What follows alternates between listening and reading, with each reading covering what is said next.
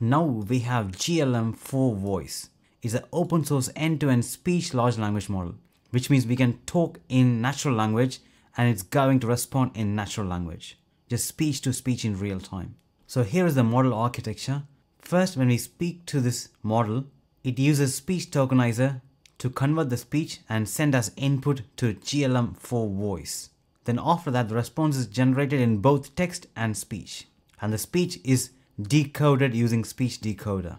Can definitely help you with information, answers to questions, or just have a fun conversation. What would you like to talk about?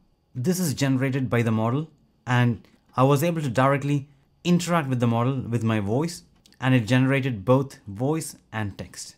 Now you're going to learn how you can run this locally on your computer and have a voice conversation.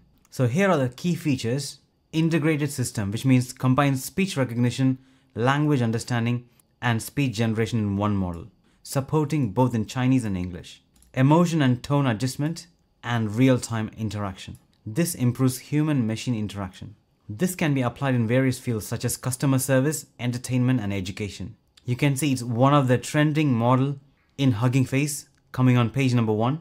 The model is available in Hugging Face and we have the Git repo with 1000 plus stars in just few days.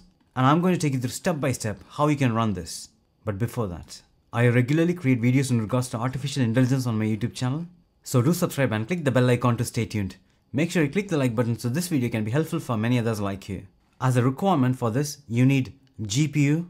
So I'm using RTX A6000 and a virtual CPU. So first step, git clone, recurse submodules, and then this URL, and then click enter.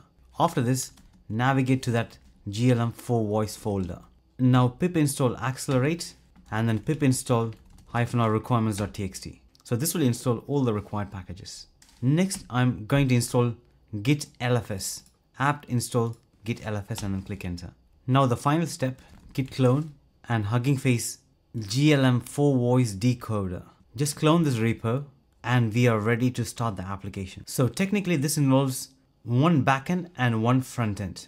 Backend is where the code is running. Frontend is for you to view the application. So first we are going to start the backend. So in your terminal, Python model server and then this whole path and then click enter. Now this will automatically download the required models and start the backend. Now you can see the backend is running in this URL. Next step, start the frontend. To do that, I'm going to open another terminal, then going to try another command, python web demo and the full path. I'll put all the commands in the description below. After this, click enter. You can see all these steps in the documentation in Git repo as you can see here. So I'm just following this accordingly. So we are on the final step, that is the front end setup. And now here you can see our front end is ready and is running in this URL. So I'm going to open this. Now it's loading and this is the front end. You have different options, input mode, audio, text, and then debug information. So first I can just ask, give me a meal plan for today in two lines. Clicking submit. For today, start with a balanced breakfast. Whole grain cereal with fruit and a protein source, like eggs. For lunch, have a salad with grilled chicken and a light vinaigrette. For dinner, cook a lean fish like salmon with steamed vegetables and a side of quinoa. Stay hydrated with plenty of water. And at the same time, you can see the text is also getting generated, the same text. So now I'm going to talk to this clicking audio and I'm going to click this icon and then click record. Tell me about AI. Clicking submit. AI or artificial intelligence is technology that mimics human intelligence. I see that it's trying to generate the audio in real time and also the server which I'm running is comparatively low spec. That's why there is a delay I believe and it's generating the response on the go.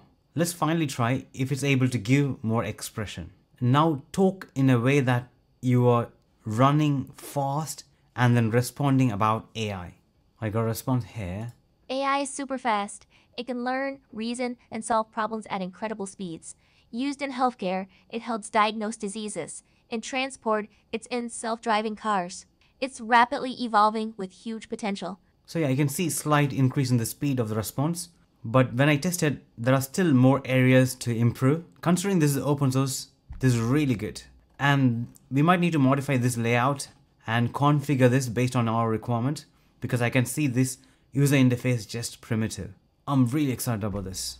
Now you are able to run this locally on your computer.